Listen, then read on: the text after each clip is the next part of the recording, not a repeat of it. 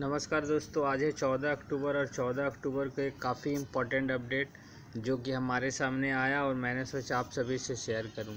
देखिए money control के websites पे आप जाएँगे तो आज आके ये न्यूज़ आपको हिंदी वर्सन पे मिलेगा। आप लैंग्वेज जैसे ही चेंज करेंगे, तब आपको ये न्यूज़ मिलेगी। ये तेरह तारीख को मतलब कल ये पब्लिश हुई है और इसमें Bhushan power and steel limited के खिलाफ़ कुछ कार्रवाइयाँ हुई हैं और कुछ संपत्ति के खिलाफ में मनी लॉन्ड्रिंग एक्ट 2002 के तहत इसमें चार हज़ार पच्चीस करोड़ रुपए के अंचल संपत्ति अटैच की है। देखिए ईडी इन्फॉर्मेंस इन्फॉर्मेंस डायरेक्टरेट ने Bhushan power steel limited BPCL के खिलाफ, ये वो बीपीसीएल नहीं है, भारत पेट्रोलियम कॉरपोरेशन लिमिटेड, ये Bhushan power and steel limited के खिलाफ मनी लॉन्ड्रिंग एक्ट 2002 के तहत चार हज़ार पच्चीस करोड़ की अंचल संपत्ति अटैच की है। ईडी ने अधिकारियों से मिली जानकारी के मुताबिक ये कार्रवाई कंपनी के तरफ़ से किए गए बैंक कर्ज घोटाले से जुड़ी मनी लॉन्ड्रिंग की जाँच के दौरान की गई है।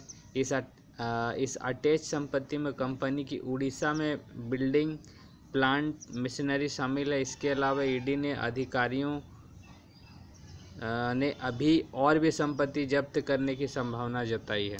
तो ये काफ़ी मतलब बैड न्यूज़ हो सकता है Bhushan power and steel limited में। आप चौदह तारीख को इस पर नज़र बना के रखिए। आपको ये इंट्राडे में ही बहुत ज़्यादा डाउनफॉल देखने को मिलेगा। आई थिंक इस न्यूज़ के बाद तो गैप डाउन ओपन होना चाहिए और काफ़ी नीचे तक जा सकता है ये स्टॉक क्योंकि छोटी मोटी रकम नहीं है और अभी और भी अनुमान है। तो ये काफ़ी इम्पोर्टेंट होगा जो इन, जो लोग इस शेयर के एक्चुअल में शेयर को बाइंग करके और होल्डिंग करके रखे हैं, उनको दिक्कत का सामना हो सकता है। देखिए ईडी की तरफ़ से जारी किए गए एक बयान में कहा गया कि बीपीसीएल ने कई बैंकों से लोन लोन के तौर पर लिए गए पैसे को बेमानी से निकालने के लिए कई तरीकों का उपयोग किया था। कंपनी के पूर्व सीएमडी संजय सिंघाल ने पद पर रहने के दौरान बैंकों से कर्ज के तौर पर मिले फंड को इधर उधर घुमाकर छः सौ पंचानवे करोड़ रुपए के बड़ी रकम को अपने परिवार में long term capital gain LTCG के रूप में दिखाया था। बता दें कि एलटीसीजी के तहत इनकम टैक्स में छूट मिलती है।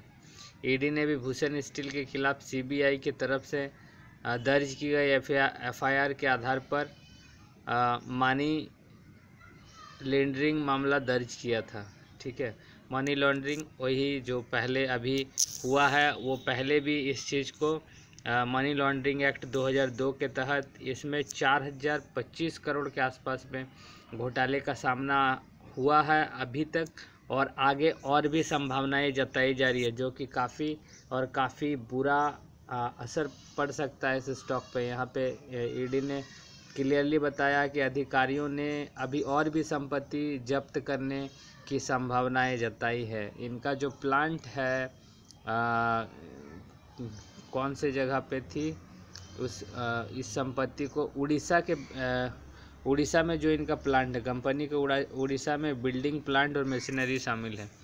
तो काफ़ी इम्पोर्टेंट होगा उन लोगों के लिए जो इसके शेयर होल्डर्स हैं जिन्होंने इस शेयर को उठा के रखा। देखिए इसी तरह से स्टॉक मार्केट में हम लोगों को एक बहुत ही संभावना बहुत ही सावधानी बरतनी पड़ती है। कब, किस स्टॉक में कौन सी बातें निकल के आ जाए।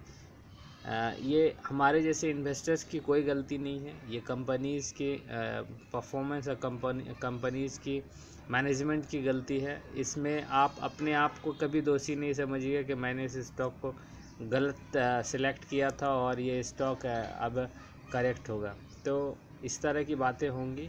तो इस स्टॉक पे अगर बहुत ज़्यादा डाउनफॉल होता है तो आप इससे निकलने की पूरी कोशिश कीजिएगा, क्योंकि देखिए, कोई भी स्टॉक जिस स्टॉक्स पे एक बार गलत तरीके से इल्ज़ाम लग जाते हैं, उस पर गलत न्यूज़ आ जाती है, उसके बाद उस स्टॉक का ऊपर उठना काफ़ी मुश्किल हो जाता है। तो आप अगर आसपास में ही कहीं पे समझ जाइएगा तो हो सकता है आगे किसी दूसरे स्टॉक में उस पैसे को बना लीजिएगा। आपको ऐसे सोचना है, ना कि इसी स्टॉक पे पैसे को रिकवर करने के बारे में सोचना तो हमारे जैसे छोटे इन्वेस्टर्स इसीलिए फंस जाते हैं स्टॉक मार्केट में। और बड़े बड़े जो मछली है, वो इस तरह की जो मतलब इनको जो घाटा होता है, वो दूसरे स्टॉक से निकालने की सोचते तो ये एक समझ की बात है, सीख की बात है। बाकी मर्ज़ी आपकी क्योंकि पैसा आपका है, प्रॉफिट आपको होगा, लॉस आपको होगा तो ब्लेम हमें ना कीजिएगा। हमारा यही डिस्क्लोजर है।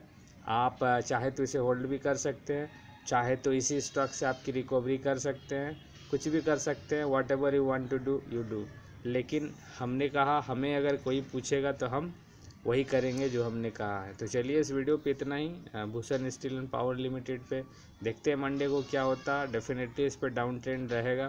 प्रॉफिट बुकिंग आएगी। न्यूज़ काफ़ी गंदी है। तो अभी इस वीडियो पे इतना ही। वीडियो अच्छा लगे तो ज़रूर लाइक कीजिए।